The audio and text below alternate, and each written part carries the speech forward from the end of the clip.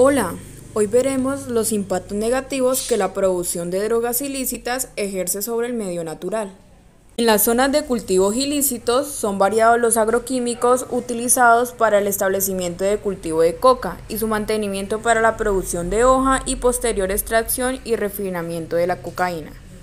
Además, las personas que participan en el proceso de transformación de la hoja de coca se ven afectadas en su salud y comportamiento.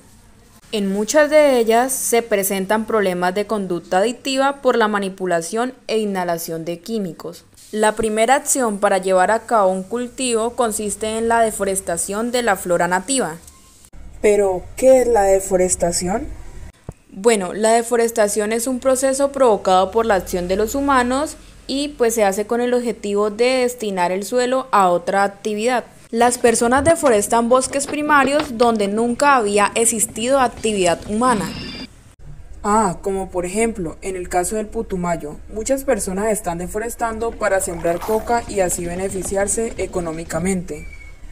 Exacto. El método más utilizado es la tala o quema de miles de hectáreas de bosques. Estas son acciones que generan efectos sobre los ecosistemas o incluso se genera pérdida y extinción de especies enteras de flora y también de fauna.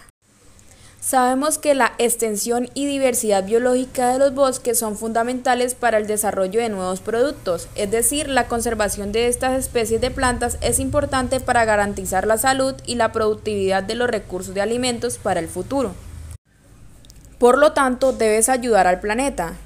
¿Cómo podemos ayudar? No contribuyas con todas las prácticas mencionadas anteriormente. También puedes reforestar, es decir, plantar árboles en las zonas necesitadas. ¿Qué es eso?